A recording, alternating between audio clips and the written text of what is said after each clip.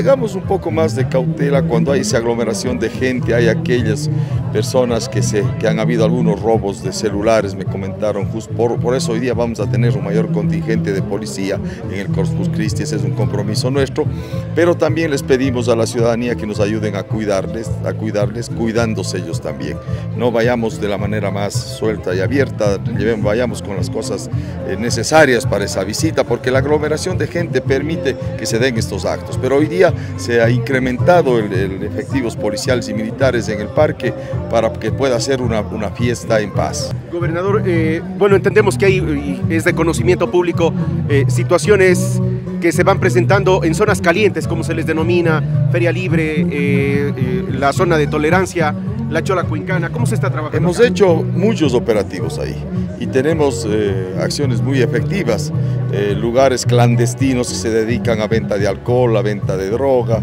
eh, lugares clandestinos de prostitución que hemos clausurado,